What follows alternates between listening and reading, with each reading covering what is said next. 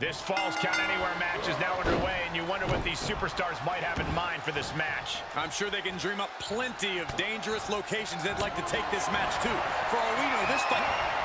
The Swiss Cyborg looking to end things. Here we go. Neutralizer. And Seven's laid out.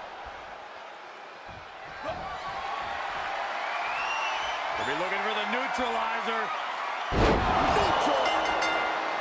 Neutral. And the official calls it clearly they cannot fight any longer. Here is your winner, Cesaro! Wrestle perhaps the